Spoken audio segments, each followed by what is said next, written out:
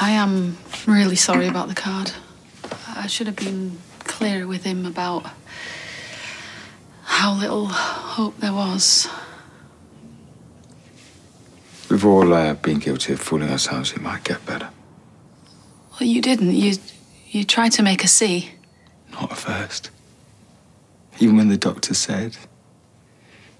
Not at first, you know. I was scared I, I might hurt her.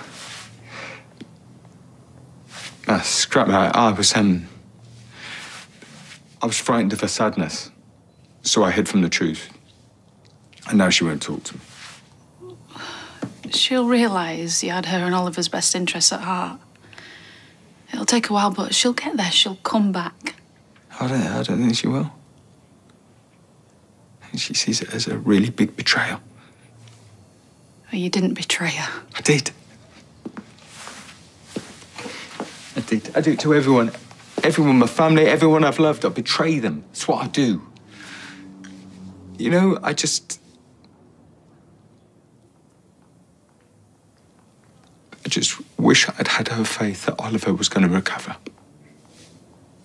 Just be like her, just keep going, just blindly keep going on. Because if I had, I'd be there now with them both.